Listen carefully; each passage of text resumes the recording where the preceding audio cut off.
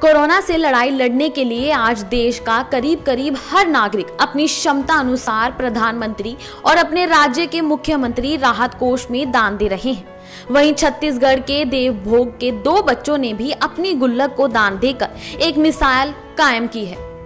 देवभोग के चौथी कक्षा में पढ़ने वाली शिखर सिंघल और उसकी बहन शिक्षा संघल ने अपनी गुल्लक को देवभोग थाने में पहुंचकर वहाँ मौजूद थाना प्रभारी और तहसीलदार बाबूलाल कुर्रे को दिया। यकीनन कि इन बच्चों की सोच को हर किसी को सलाम करना चाहिए और देश के लोगों को भी इनसे सीख लेनी चाहिए लोग